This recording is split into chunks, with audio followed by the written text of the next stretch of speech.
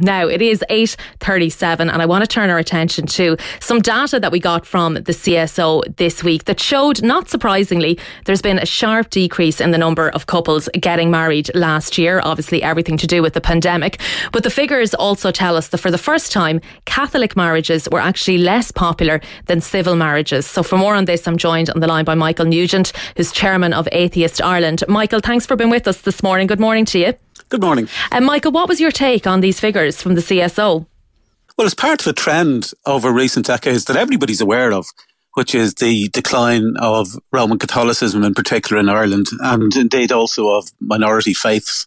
The census figures, which are based on a, a flawed question that inflates the number of religious, shows that there's over half a million non-religious people now in, in Ireland. Uh, mass figures were down even before the pandemic. And Archbishop Martin of Dublin has said that uh, he, he thinks that many younger people will never return to church confession boxes. You might recall that documentary a while ago about confession that showed that people aren't going to confession anymore.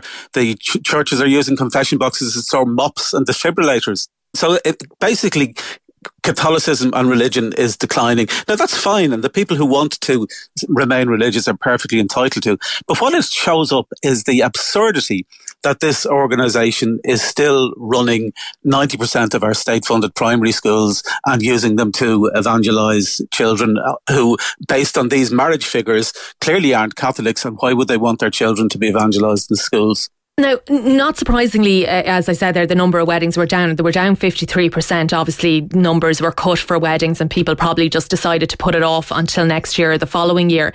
Um, but the ones that did take place, there were more civil ceremonies than Catholic ones for the first time. But I guess, can we read too much into that given the fact that we're, you know, the number of weddings were down 53% in the first instance? Well, no, because as, as, I say, it's part of a trend. Mm. It's not just it's not just something surprising that, that Catholicism is really strong and wow, why are people not having Catholic marriages? It's 42% civil marriage, but then another nearly 8% are humanist. So half of the marriages are not religious. And then another 7% are spiritualist, which although officially classed as religious marriages, you know, they're not traditional religious churches. They're people who, who feel, you know, spiritual but not religious, etc. So uh, there's a, it's an ongoing pattern. And, and there's nothing wrong with, with people being religious. I'm not suggesting that, that because there are fewer people religious that there's something wrong with being religious.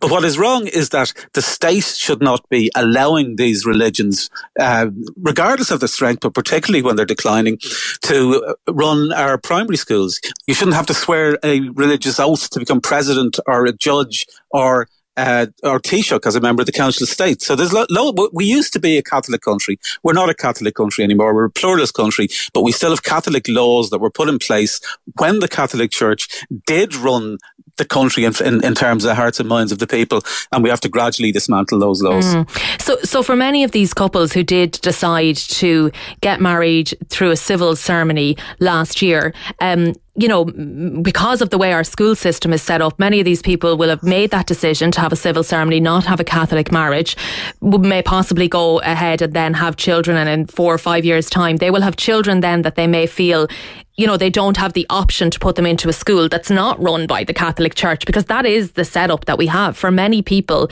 their local school is a Catholic school. Yes, and, and you have a right under the Constitution to a, a, an education that doesn't involve religious instruction. Now, the the way traditionally that that was done is is to say, well, you can opt out of the religious instruction classes, but uh, in, in recent decades, what they've done is that they have integrated religious instruction into the entire curriculum. Now, you can't obviously opt out of the entire curriculum. So we need to remove that privilege that the Catholic Church has of running 90% of our state funded primary schools.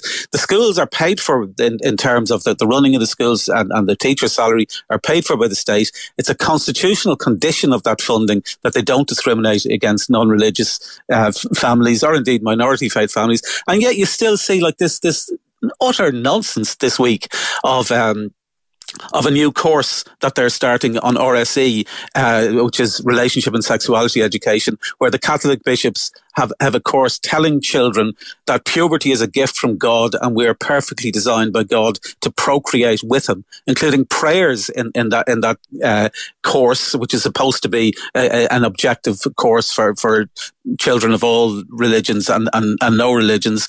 And that just has to stop. I mean, we, we, you know, we, we've just, we've reached a stage in recent decades where we've recognized it with marriage equality. We've recognized it with abortion. We've recognized it with removing the blasphemy law that we have to remove these privileges that religion has, allow people to be as religious as they want to be, but protect everybody's rights by the state staying neutral on these mm. issues.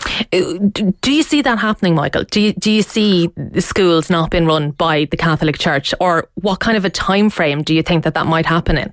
Well, I think that the way that change happens these days is, is not really gradual. It's pressure, pressure, pressure, and then suddenly everything changes. Say, say if you take the abortion issue, um, the Savita Halappanavar death, uh, which, uh, a tragic incident, was, was the moment when suddenly it didn't become uh, uh, uh possible to maintain the, the ban on abortion. Just people just realised it. I think something similar will happen with education. I'm not sure when it will happen or what it will be, but but it, it just isn't sustainable for a minority of uh, largely celibate men uh, to be running the education system based on a religious belief that, as evidence clearly shows, isn't shared by the majority of the population. Mm. You will, of course, have people, you know, um, like I'm in this situation where, uh, you know, I got married and I chose to have a civil ceremony instead of a Catholic um, ceremony. But my child does go to my local Catholic school because that's the easiest place for her to go and it makes everyone's life simple.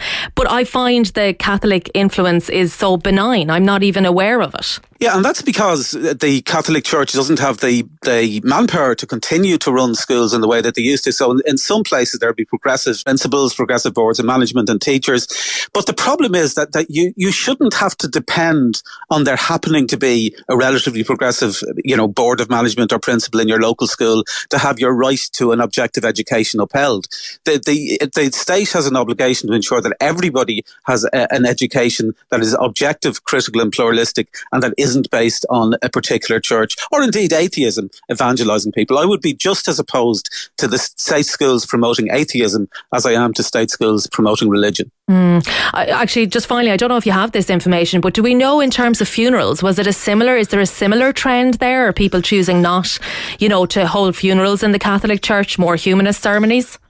I, I, haven't seen statistics on that, but I saw a comment by somebody yesterday suggesting that, that the trend isn't as great with regard to funerals, that, that it's more pronounced with regards to weddings. Okay, interesting. Okay, Michael Nugent, Chairman of Atheist Ireland, thanks so much for your time on Newstalk Breakfast this morning.